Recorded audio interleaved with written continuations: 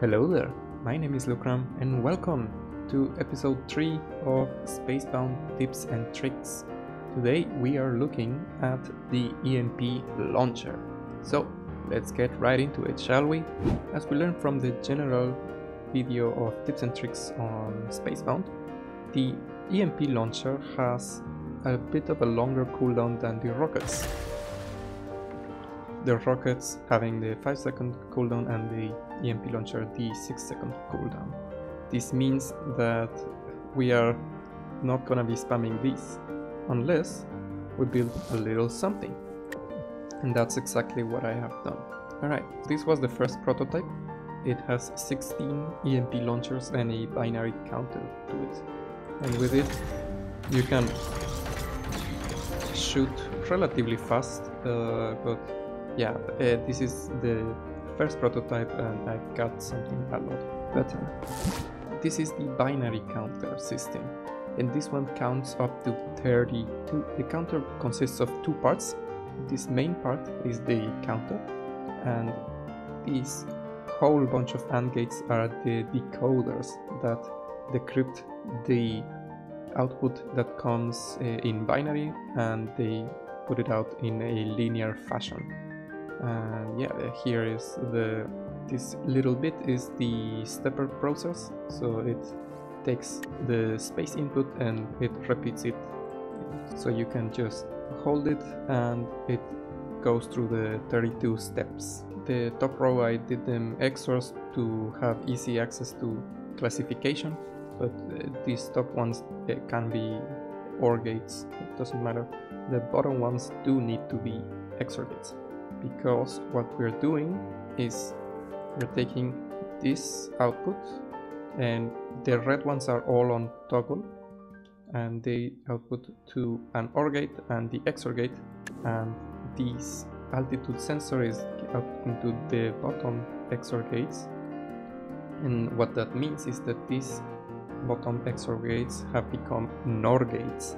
And NOR gates what essentially do is a switcheroo so if this one is active this one is off. And if this one is off this one is on. And with that we can easily check which one is on and which one is off. This OR gate is to step it to the next little bit because uh, this stays on but we want it to be a small pulse that goes to the next toggle gate. Uh, so this repeats the same for the whole process and the decoder the way it works is the AND gate goes to the headlight that corresponds to it. And the inputs that go into the AND gate are the combinations of on and off states from this counter bit. Uh, for example for the zero we will need to have the all the gates on the off state which is the red one. Then for the next one we're gonna need the first bit on the on state and the rest on the off state. That goes to the next one. That's how you go adding this. It's a tedious process but once you do it it works perfectly fine. Uh, yeah you just gotta know a little bit how to count in binary which is adding these values. So for number 6 for example you would need a 2 and a 4 so you grab the 2 and the 4 and then the rest. That's how you go collecting all the AND gates that's basically it for the counter and what you can do with that is hook them up to EMP launchers.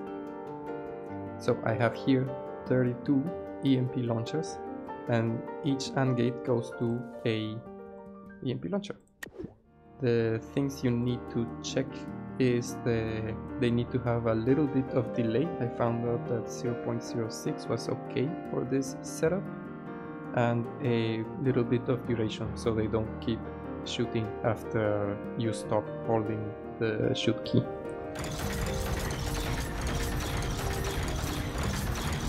You can see it shoots very fast.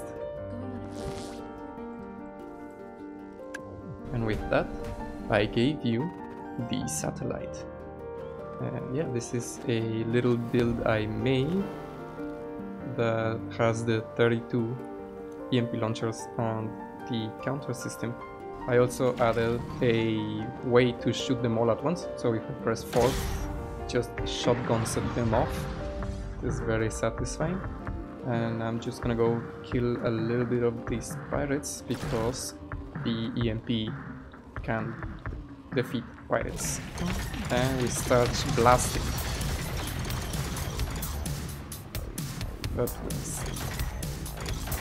Yeah, that's the main benefit of being able to spam these EMPs because if you miss you can just keep shooting. Uh, it's very fun, uh, but also it's not very fair. Ooh, that was a close one. There we go. And as you can see, it's quite easy to get them. Uh, another thing that is kind of important to know about the EMPs, which uh, this excels at, is disabling shields. Because you can stack the shields and yeah, an EMP shot disables only one shield, so having stacked shields is a pretty good strategy against one or two EMP launchers, but with this you can just disable everything. So uh, this was a bit of a short one, but this is not the only thing you could do with a counter. Uh, another type of counter is very useful for changing other stuff, but I'm going to cover that in my future logic guide, which is coming real soon. And yeah, with that, bye!